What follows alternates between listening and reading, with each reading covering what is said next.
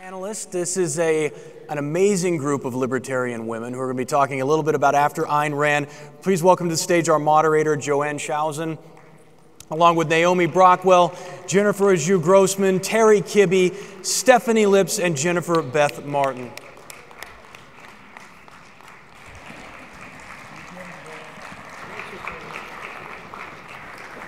Oh, I like my sons in that.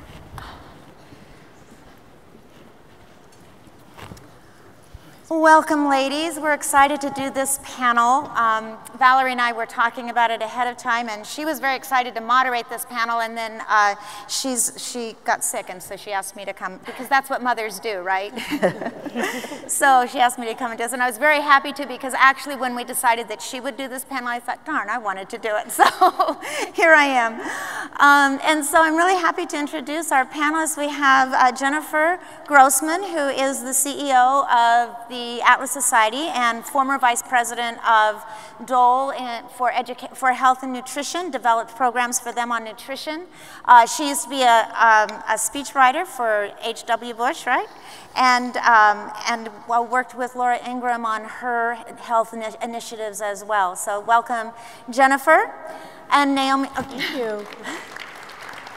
Naomi Brockwell is, uh, works with Stossel for Reason, and she's a former producer for Fox News and Fox Business. She is the founder and co uh, and, and CEO of Rainsworth Productions, and if you're ever in New York, she's also the co-founder of the Soho Forum, which is a monthly debate forum, which I, we go to whenever we're in New York, and it's always great.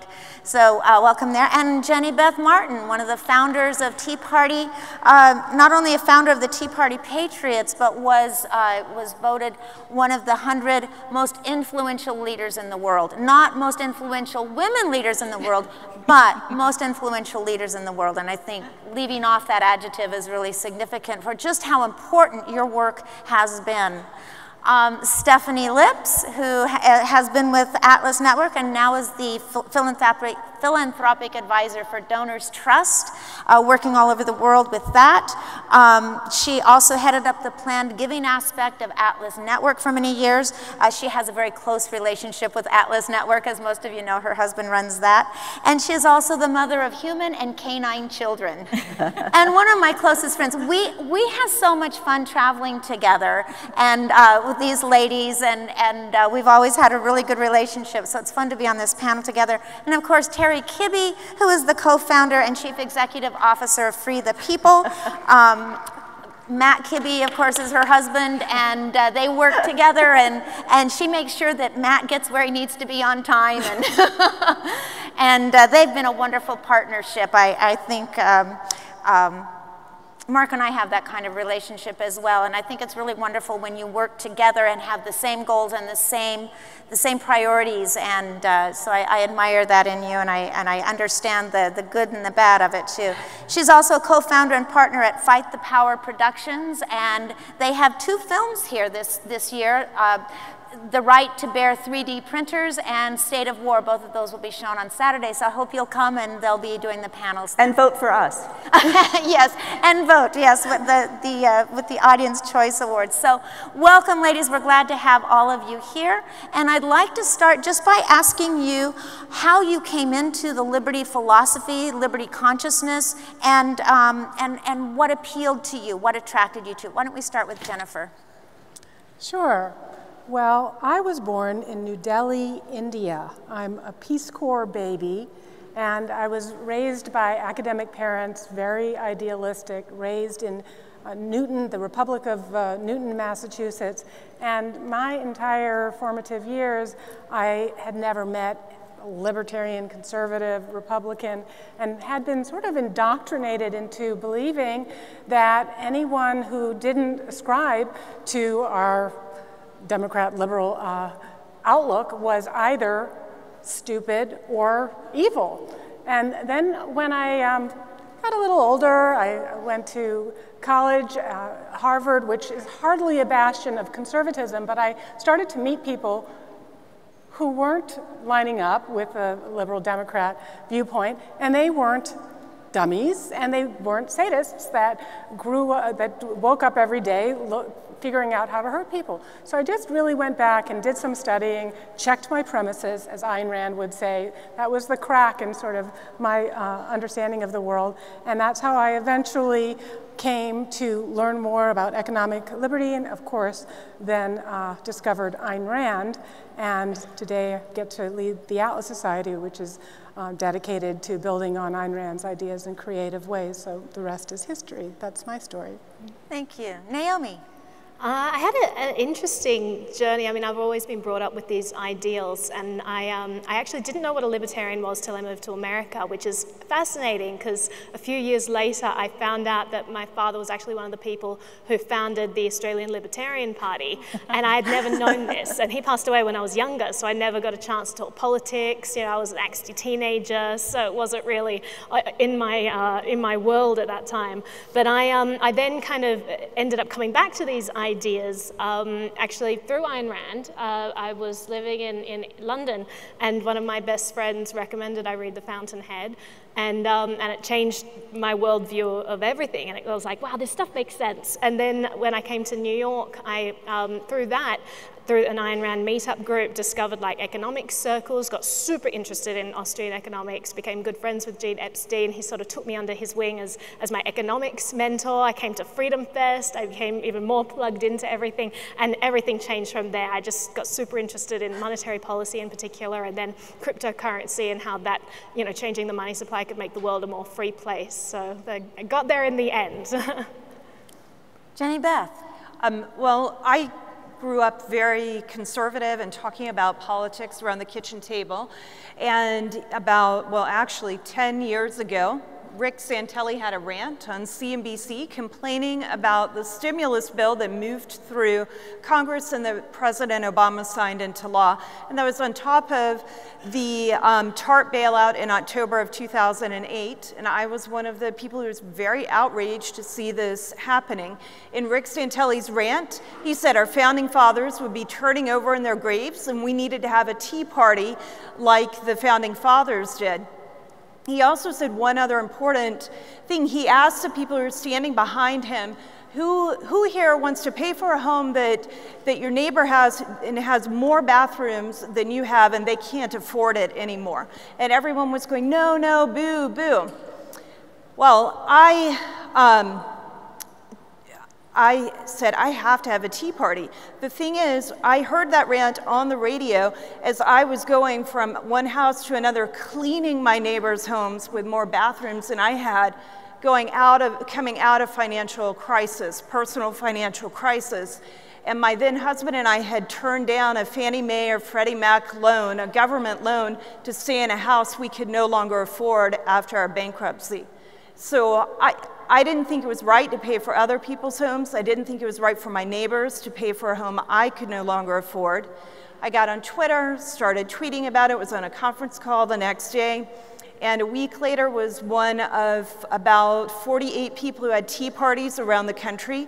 And six weeks later, we had over 850 tea parties around the country. And I've been going strong ever since then. And we had one as well in, in honor of what you were doing. I remember it was on the 4th of July. We were with, uh, with the Verduns and we, we had, our, had our tea bags and threw them into the water. So it was really fun. Um, Stephanie, tell us about your journey. Mine is kind of interesting. I did not know what a libertarian was when I was 30. And I was hired by Bumper Hornberger, who some of you may know from the uh, Freedom, Future of Freedom Foundation, to run an event for him. But before he hired me, he wanted to make sure I wasn't a socialist. So he got on the phone with me and he said, Are you a libertarian? And I said, I have absolutely no idea what a libertarian is. So he sat there and he explained to me what a libertarian was. And I said to him, Well, I don't know if I'm a libertarian, But I can tell you, nobody's going to tell me what color to paint my house and how late my kids are going to stay out. And he said, Ooh, you're a libertarian and you just don't know it. so that's where my journey started.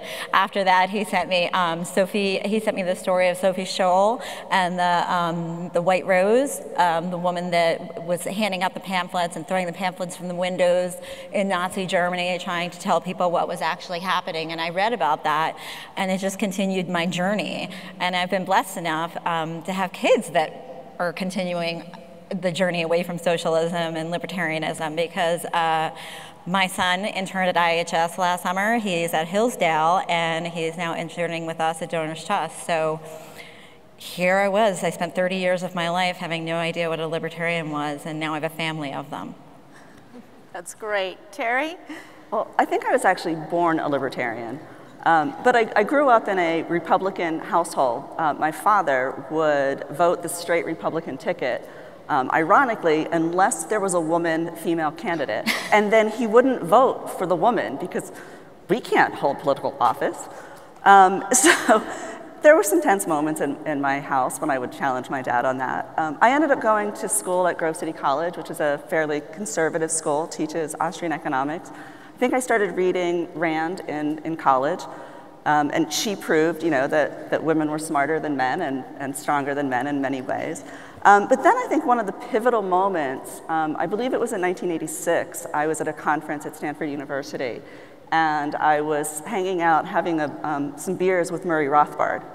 And, and that was just such an amazing moment in my life, and it really kind of transformed my thinking and also got me on a lifelong long journey to drink really good beer. I was actually raised a social democrat. I was, uh, my parents didn't really get too involved in any kind of issues, but I knew that if there was a problem, the government ought to fix it.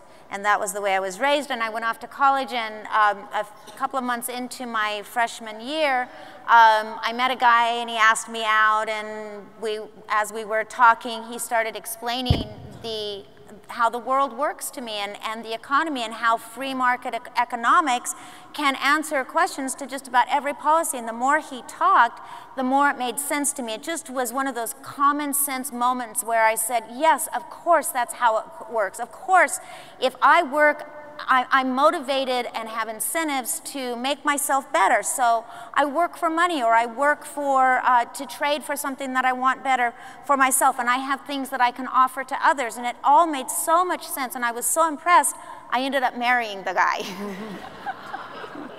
So, and Mark and I have just, uh, uh, uh, we've continued to write books together and, and uh, pamphlets and, and so forth. We've had a, a, a great career in the free markets.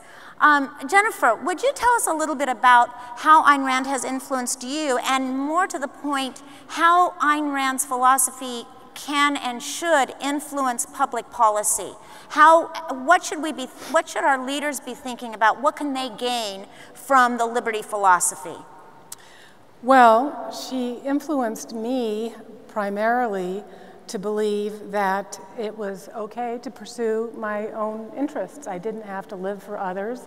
Um, I didn't have to be beholden to what other people thought of me. And that was enormously liberating as a young woman. Um, I, became free of shame uh, that I didn't earn. I became free of guilt that I didn't deserve or inherit. Uh, inherit.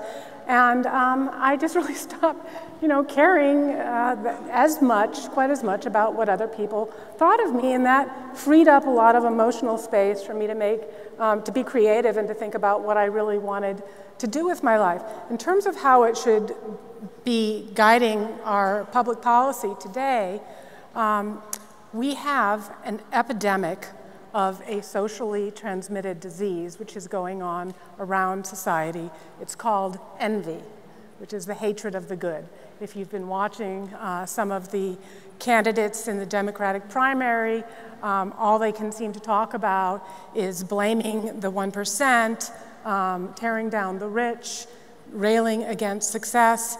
and um, promoting, while they're railing against greed, uh, they really are the, the, greediest of all. Ayn Rand called greed the desire of, uh, for the unearned.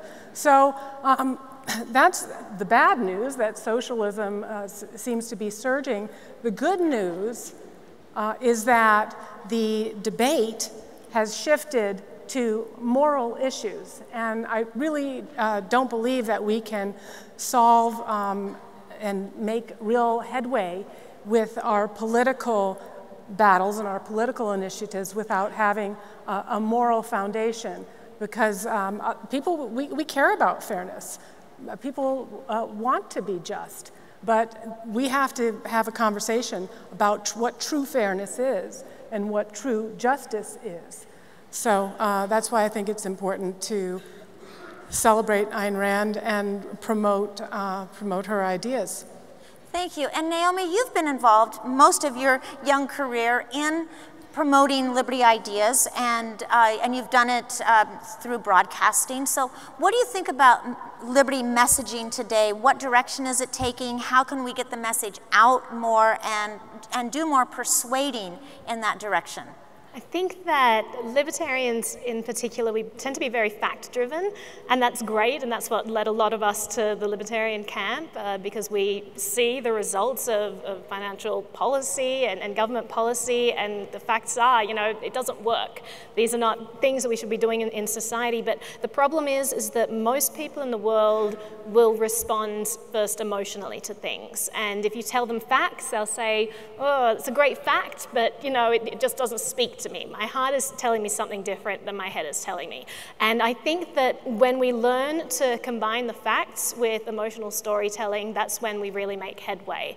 I think the left does this brilliantly, and they've really taken over Hollywood as we know but they're fantastic at isolating a single story of a, you know, say a, a, a, mother, a single mother who's trying to raise her child in poverty or something. They'll tell that story and they'll be able to change government policy from just telling an anecdote about one person, you know. And although I disagree, like the, the, with the fundamentals of that, you shouldn't never make policy based on a, on a single anecdote. You're making a blanket rule for people, you know, based on, on a single case. It's just not right. But we could definitely learn something from that if we want to tell a story or, or get certain policy implemented or, or, change people's minds about the way the world works, we need to be isolating those individual stories and connecting with people on an emotional level rather than saying 300 million people are doing this. Know, there are 2 billion people unbanked in the world. We can't give those facts to people because people don't respond to large numbers, first of all.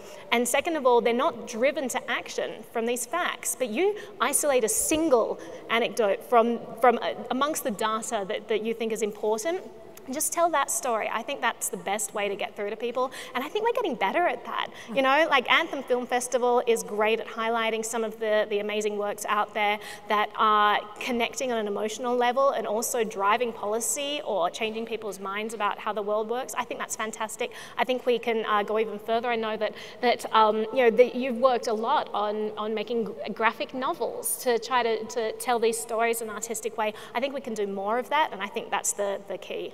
I think our film Everything was, is a good example of that. Everything is about a, a, mother whose child is dying of leukemia. She needs a bone marrow transplant. Um, she finds a match, but the, the person who is a match can't afford to take six weeks off from work. And the mother is desperate and she says, I'll pay you, but she can't because legally she couldn't. That film changed the law because, because um, uh, well, I don't want to get, take up all of our time, but all the statistics about bone marrow transplants didn't have nearly the impact of one film about a true story that impacted um, all of the people who needed bone marrow transplants. Terry, you do the same thing. You're doing storytelling, but it's not really a women's issue, is it? It's, a, it's an everything issue that we women are talking about. I notice many of the films, in fact, most of the films you've submitted aren't about women. They're about men, um, and, and they're wonderful. So do you want to talk a little bit about that, about is this a women's issue, is it a men's issue, or is it a people issue, and what are you doing at Free the People? Sure. Right, so um, the phrase women's issues really drives me up the wall because issues affect everyone. Um, women's issues, men's issues, they all affect everyone in a different way. Um, and you do need to reach people. I'm kind of, you know, I love this panel because we're all talking about storytelling and how important it is. And that's, you know, that's what we do. That's how you reach people's hearts and minds. I mean, Anne Rand, um, she affected people mostly through her novels, through storytelling, um, with strong women as, you know, the heroine. Um, not to belabor that point. but, you know, um, I'm going to quote someone, and I hope people don't throw things at me. But Alexandria Ocasio Cortez said, It is better to be morally right than to be factually correct. Well, so, so think about that. We are factually correct, and we're also morally right, but our side has tended to focus on the facts, like Naomi was saying. Um, I was trained as an engineer, I worked as an engineer for the first 12 years or so of my career, and I like numbers. I kind of find them exciting, but I also recognize that most people don't. so you have to tell stories. They have to be fact based. We are morally right we need to focus on the individuals and the people, and that's what we do at, at Free the People. I, um, there's a certain person on our staff that I'm also married to that loves to quote dead economists. And I keep telling him that that's really not the way to reach people. You have to tell stories. so, Jenny Beth, you started the Tea Party movement, but now you've kind of branched out and you've she brought us a wonderful film this year called Validated. We're showing it tomorrow at 11 o'clock. And I was so surprised when I saw, I love this film, love this film. And then as I saw the credits roll, I saw Tea Party Patriots, and I was so excited that Jenny Beth was involved. So tell us about the direction that you're taking now, and, and again, reaching people, not just women, but people. Right. So we are showing that film tomorrow, and you can find out what a balloon has to do with freedom by going to uh, watch that movie tomorrow. Um, it's actually the fourth documentary that we've done. And we found that oftentimes our documentaries are a way for us to reach, reach people and do exactly what you guys are talking about tell a story and connect the um, factual issues with, with real, real life interactions. This particular one is on intellectual property, and I, I was inspired to do it after doing a Facebook Live session with Congressman Thomas Massie and I, he, he's so brilliant, and he went to MIT. I mean, he really, he's a rocket scientist. Um, and he was talking about patent rights in a way I'd never thought of it, and I realized that we had to tell it in an, a much more emotional story. So that is what we have done, and I think it's very important to understand um, intellectual property rights as we're looking at the next um, iteration of technology in, in our country when it comes to national security and just plain innovation as well. We also are very focused um, between now and the end of the election next year on the theme Stop Socialism, Choose Freedom. On April 15th of this year, we had 422 rallies around the country on that theme. We've done a short 10 minute uh, mini documentary about a man from Venezuela and his what he experienced as his country went away from, from democracy and to socialism and why he is opposed to that and he loves freedom. And on September 19th, we're going to do a rally again in Washington, D.C. It's on a Thursday, and we're going to continue that theme Stop Socialism, Choose Freedom. And one last thing, I know we don't have very much more. I agree with you about the women politics. I think that the left right now is doing every single thing they can to divide this country, and they're using identity politics to do it. We've watched that play out over the last five days, and it just gets more and more and more intense. You can't disagree with people unless you can't disagree with people on the left without being called a sexist or a racist or, or any other sort of negative negative thing. They won't debate on what you're saying, so they just call you names. I've experienced that for 10 years with the Tea Party movement. And it's time for it to stop. Stephanie, you are the woman's woman. I've traveled with you. I love traveling with you. I've never known a woman to interact with other women the way you do. Your genuine love for people just radiates. And it's, don't you agree? It's I just do. so much fun being with you. So, as we wrap up, tell us what what issues you think uh, especially affect women that liberty policies can especially um, help. Would it be parenting, education? What do you think? Okay, as you asked that, I'm thinking, I've been thinking about something since Lenore Skenazy's uh, session today. How many of you, like myself, I grew up in the 70s, how many of you were sent outside first thing in the morning by your parents? how many of you? You came in, got your sandwich, you ran back out, you came in for dinner, and then you ran back out, right? You spent your day outside when you weren't in school. Is, is that not how most of us were raised? Does that happen today? No. My, my big kids, I have kids that are 20 and 16. They lived their life that way. And then things have started to change. I have a five year old, and I had a neighbor call me last week and say, Do you know that your son was on the front porch? And she meant it well. she meant it well. But okay, he's on my front porch. I don't think he's going to be kidnapped. The 24 hour news cycle has us concerned that everybody is going to be kidnapped at some point. We have to be so worried about it. Um, and I honestly think that it is, there needs to be a lack of regulation. There needs to be people saying, don't tell me what to do with my kids. I'm a good parent. My son goes outside and plays in his sandbox for six hours pretending that Darth Vader and Luke Skywalker are fighting and, and uh, Princess Leia is coming in her gold bikini and she, she's part of the action there. This is what happens in my house. And it doesn't need to be the government telling me what to do as a parent. It needs to be me deciding what to do with my children and my husband deciding what to do with our children as a parent.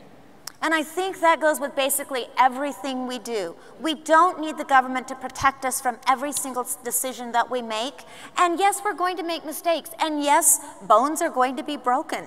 Yeah. But, but those bones will heal. And what's really healing at that time is the ability to become self reliant, to be self directional, to be strong mentally as well as physically. And that's one of the things that we're trying to do, not only with our children, but with our neighbors and with our, our friends and with ourselves. So thank you so much for being with us. This has been so good. And, um, and I, I appreciate all of you being here. Thank you. Thank you.